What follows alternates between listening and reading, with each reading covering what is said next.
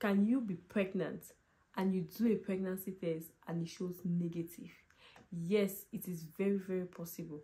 And that is what they call false negative pregnancy test. And this happened to me for my third pregnancy when i knew that I was like pregnant. But when i did the pregnancy test it was negative. So i was wondering what was happening. This is what we're going to be talking about on this episode. What did you not do correctly and what can you do next in order to confirm that you are pregnant or not? This is Talk pregnancy with dr Noella, where we tell you all about pregnancy and other women related health issues.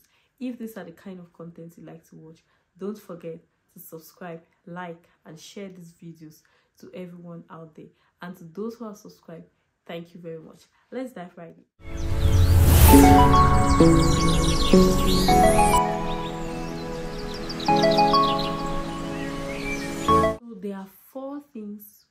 you might have done wrong. Four things. The first is maybe you took it too early because the test strip measures the level of the beta human chorionic gonadotropin hormone which is produced only during pregnancy.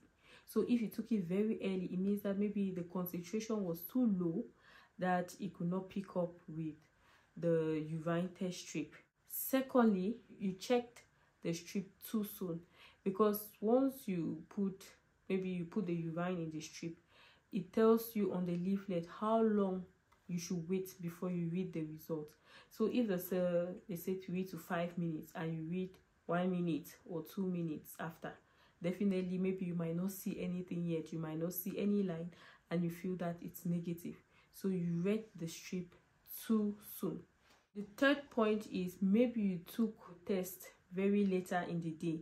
Because sometimes it's advisable to take the test early in the morning using the early morning urine because the urine is concentrated and the level of the human chorionic gonadotropin is high is concentrated in that urine. So you can decide to take it very early in the morning to see if the results change. The fourth part is maybe the strip is expired.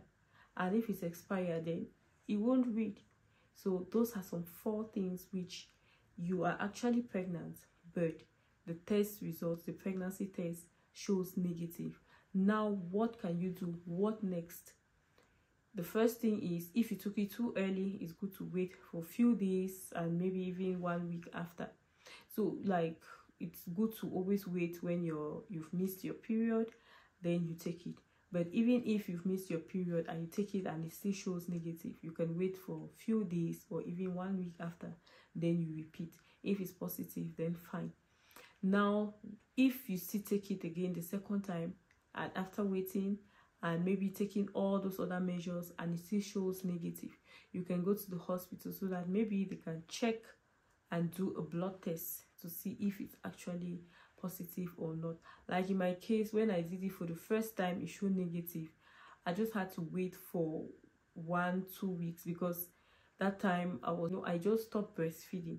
So there once you just stop and maybe after delivery and maybe your your period is not yet really really regular.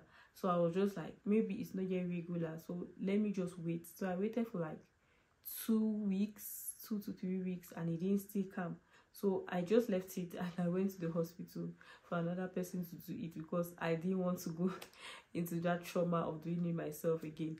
So once they did it it was positive. So you see that sometimes it might it, maybe that time was too early. That maybe i took it too early where the beta hcg level was a bit low. So if you still go to the hospital they can do a blood test and also confirm it with an ultrasound scan and maybe with this ultrasound scan you definitely show that you are pregnant. But if at the end they do all this and it's still negative your healthcare provider might therefore go further to check what the cause of the missed period is. So if this was helpful don't forget to give a thumbs up to our video and if you want to have a private consultation with me just click on the link on the description box and get to me for a private consultation Thank you very much and God bless you. See you next time.